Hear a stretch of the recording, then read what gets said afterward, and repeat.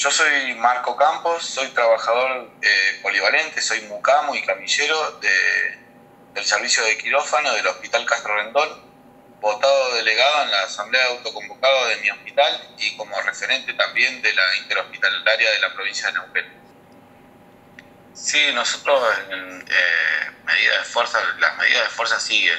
Ajá. Eh, lo, lo, que levantamos fue la acción en, en Arroyito, en principio, eh, porque consideramos que eh, estaba cumplido lo que habíamos ido a, hacer, visibilizar más aún eh, el conflicto que venimos teniendo los trabajadores de la salud, que durante el año pasado, mientras atendíamos a los pacientes, hacíamos frente a la pandemia, mientras estábamos en la trinchera, como nos llamaron desde el gobierno, nos, nos robaban el sueldo eh, precarizaban a nuestros compañeros y, lo peor de todo, que cuando llegó la pandemia al sistema de salud, eh, empezaron a, fallecer compañeros en nuestros servicios. Hay compañeros que ya no van a poder volver por las secuelas que les dejó el virus. Eh, y todo eso lo fuimos callando, lo fuimos aguantando para ponerle el cuerpo a la primera línea a donde se nos había llamado, ¿no? Eh, mientras pasaba eso, bueno, esto, nos congelaron el sueldo, nos pagaron en tres cuotas el, el aguinaldo, eh, nos negaron un acuerdo que ya estaba firmado por el mismo gobierno y a la hora de, que los aplausos del gobierno se convirtiera en un reconocimiento al trabajo que venimos haciendo y todo, eh, nos ofrecen un 12%, que después se convirtió en un 15%, eh, y aumento en, el trabajo extraordinario. Eso es de lo más perverso, teniendo en cuenta que los trabajadores eh, de la primera línea, los que estamos en la trinchera, eh, no podemos estar dando esta nueva pelea, pasar por lo mismo que pasamos el año pasado o peor, pensando que no podemos no vamos a llegar a pagar el alquiler, que no vamos a llegar a, a fin de mes. Entonces, la indignación por todo esto, por el, por el maltrato, por el destrato de, de parte del gobierno, que nos dio la espalda, generó una bronca enorme. Pero más bronca aún fue también cuando nuestros propios representantes sindicales, desconociendo las asambleas de los trabajadores de la salud, también nos dieron la espalda porque firmaron un acuerdo, y esto hay que decirlo, firmaron un acuerdo con, gente, con dirigentes sindicales que no tienen ni idea de lo que pasamos los trabajadores de la salud durante el, el, el, año pasado. No tienen ni idea, no tuvimos ni tiempo de llorar a nuestros muertos. Se murieron amigos, familiares, se murieron eh, compañeros en nuestros propios servicios. Eh, la verdad que es bastante crudo lo que pasamos los, los, trabajadores y trabajadoras de la salud durante, durante el año pasado y, y sentir esto de que, que, no nos reconocen, que, no nos, que nos invisibilizan, eh, como, eh, es, esa es la indignación, esa es la indignación que hay hace más de un mes entre los trabajadores de la salud y que por suerte se transformó en organización que se transformó en organización democrática, en asambleas de la hospitalaria, con delegados votados desde las bases. ¿Cuánta, ¿Cuántos eh, hospitales estuvieron hoy? Mira, eh, y es difícil de decirlo porque en un momento, bueno, está ahí compañeros de Rincón de los Sauces, de Andacoyo, de ah, toda la provincia. ¿Eh? Toda la provincia. Sí, sí, sí, sí. En un principio, mira, te cuento un poco para hacer un poco de historia. Claro, no es solamente, eh, perdona, no es solamente en la ciudad de Neuquén, vino toda la provincia. No, no, no, no, no, para nada. Nosotros en, al principio, cuando fue, fueron las primeras asambleas por la propuesta del gobierno, más de 20 hospitales rechazaron esa propuesta. Cuando llegó al plenario de ATE, eh, hubo un solo voto en contra y era y, y no era de salud, entonces, eso también generó muchísima bronca. A todos esos 20 hospitales que empezamos con las medidas de, fuerza, eh, se fueron sumando cada vez más. Hoy somos cerca de 40 centros de salud y hospitales que estamos en medidas de lucha.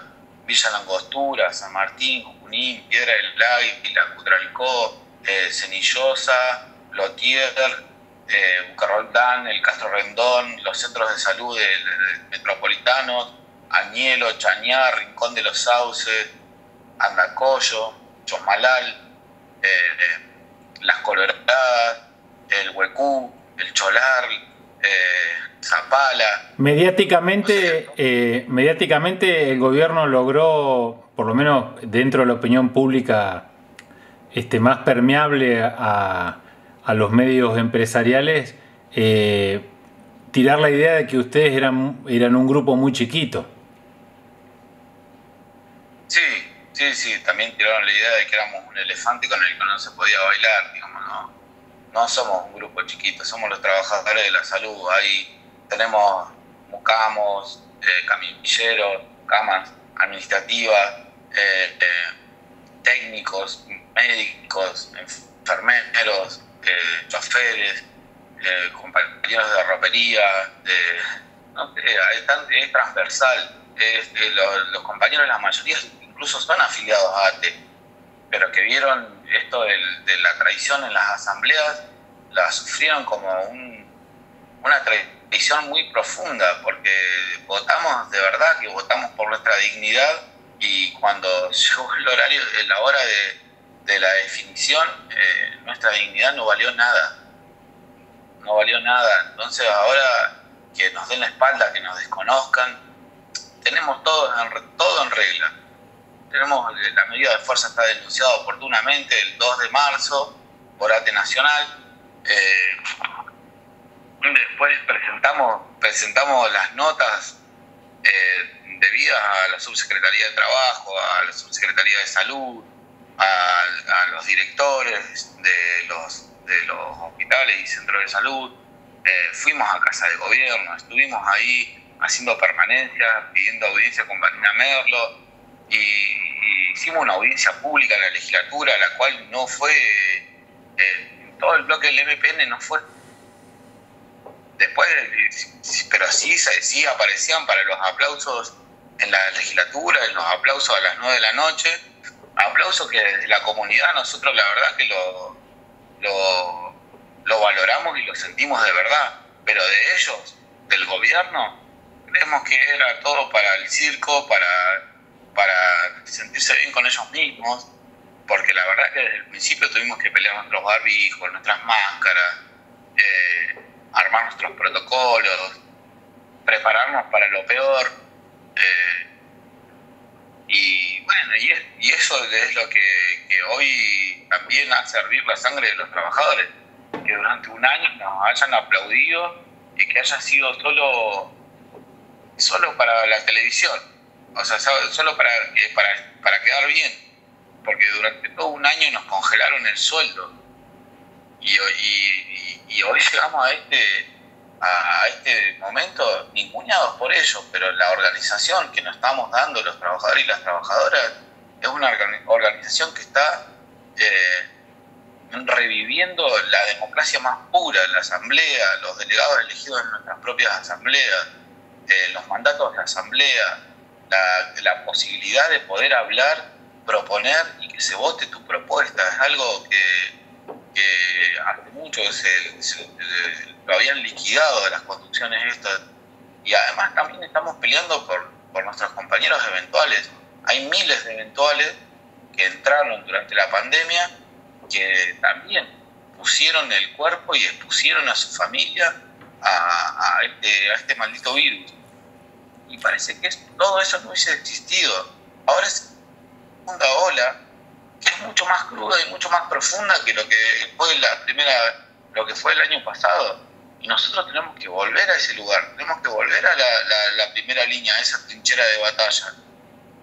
Pero ¿y cómo vamos a volver? ¿Y cómo vamos a concentrarnos en darle lo mejor a la comunidad, a, nuestros pacientes, que es donde nosotros tenemos que estar, si, estamos viendo si llegamos o no llegamos a fin de mes?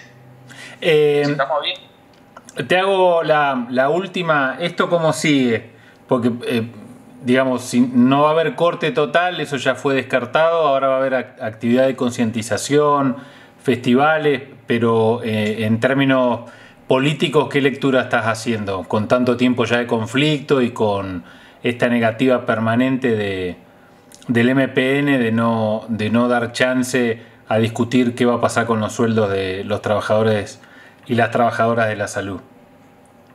Mira, nosotros entendemos ya a este punto que no se trata de una cuestión de plata, que nuestra pelea va mucho más allá y que lo que estamos lo que se está discutiendo acá, eh, lo que se está peleando es una pelea política para que el, MPN reconozca el trabajo que hicieron los, trabajadores y las trabajadoras de la salud, pero que ellos prefieren, incluso a costa de generar una crisis sanitaria histórica, profunda, con medio de una pandemia, prefieren sostener a la burocracia sindical, prefieren sostener a esa pata que tienen que les contiene la bronca de los trabajadores porque sin eso no podrían consolidar el robo al, salario de todos los trabajadores que implica no reconocer el aumento de la inflación que hubo el año pasado.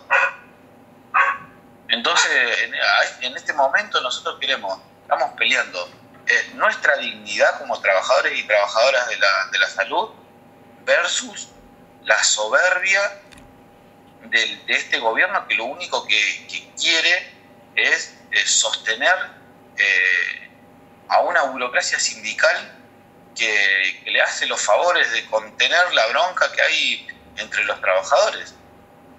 Entonces eh, sabemos que va a ser una pelea dura. Y dentro de eso, nosotros tenemos votadas actividades para esta semana.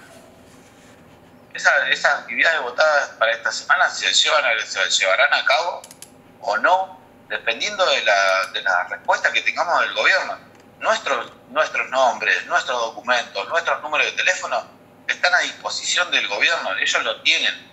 Lo tienen el subsecretario de Trabajo, están en la Secretaría de Salud, nos, nos, conocen, a mí me, me, conocen, en el caso de Rendón me pueden ubicar en cualquier lado. No hay ninguna imposibilidad de comunicarse con nosotros. Se pueden comunicar con nosotros, se puede, podemos, no, puede, puede haber una mesa de negociación, nosotros estamos dispuestos. Ahora, que no la haya, va a llevar de nuevo a, situaciones como la de hoy. Va a llevar de nuevo a situaciones como la de hoy. Nosotros, los trabajadores y las trabajadoras de la salud, hacemos lo que decimos. Nosotros planteamos un corte, lo llevamos adelante. Si llega, si no hay respuesta del gobierno, si no hay respuesta de Vanina Merlo, si no hay respuesta de Omar Gutiérrez a los reclamos de los trabajadores de la salud, los trabajadores vamos a volver a las calles. Vamos a volver a las calles y nos estamos preparando para que, para que, esto, para que esto sea largo. Nos estamos preparando con fondo de huelga, rodeándonos de solidaridad de la comunidad, de los sectores de lucha, de los compañeros que, ceramistas, de los compañeros de ATEN, de los compañeros de las organizaciones sociales que están aportando a nuestro fondo de huelga para que los descuentos, que es la única respuesta que estamos teniendo de parte del gobierno, no sean la causa de, del quiebre de esta, lucha. Nosotros vamos, vamos a ir a Buenos Aires, vamos a nacionalizar aún más este conflicto, vamos a marchar con la comunidad, vamos a seguir teniendo nuestras asambleas, vamos a seguir articulándonos eh, como interhospitalaria de acá para adelante. Nosotros vamos a seguir peleando, no vamos a bajar los brazos lo que vivimos el año pasado no tienen ni idea de lo que de cómo nos sentimos. Me quedé pensando eh, para cerrar en esto de que eh, ya es innegable la la alianza entre eh, la dirigencia sindical y el gobierno. Sí, sí, sí, sí, es innegable. O sea, no hay otra forma de, de, explicar de por qué se comieron el 40% del sueldo de todos los trabajadores estatales y docentes del 2020, porque ahora están negociando solo el, 2021. No, no, se habla de lo que pasó en el 2020. En el 2020 no tuvimos un, un, aumento en todo el año. Todo lo contrario, hasta nos pagaron en cuotas. Entonces, eso es la única forma que eso suceda es con una alianza eh, entre la burocracia sindical y el MPN que ya no hay forma de distinguirlo, digamos, ¿no? Son, son la misma cosa.